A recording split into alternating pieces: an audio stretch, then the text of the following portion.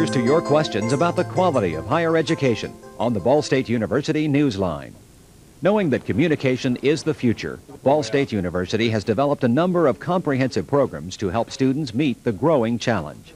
In the telecommunications department, students are given a unique blend of theory and solid hands-on experience. And I like Ball State's program because we emphasize both the theory of how to become a journalist, uh, how to go out and report a story, how to be fair, how to be accurate, and how to package for radio and television. We have the equipment and the facilities and the people here to train our young people how to use broadcasting as a journalistic vehicle.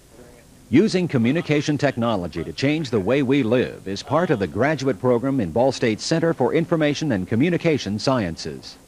Uh, we are the first and only to date program that has truly made an integrated information age academic program come together with voice, data, video, satellite, fiber optics, management issues, human communication issues, all in the same complex in an interrelated fashion. And then we put it in a modern technological context so the students work in a living laboratory.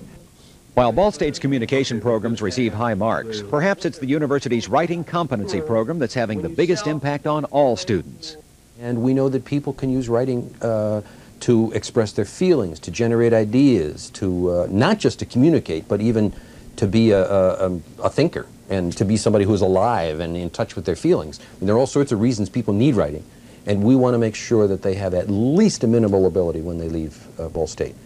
Communication is the future, and Ball State University is providing the tools to meet the challenge. This is the Ball State University Newsline. For more information, call toll free 1 800 200 7575.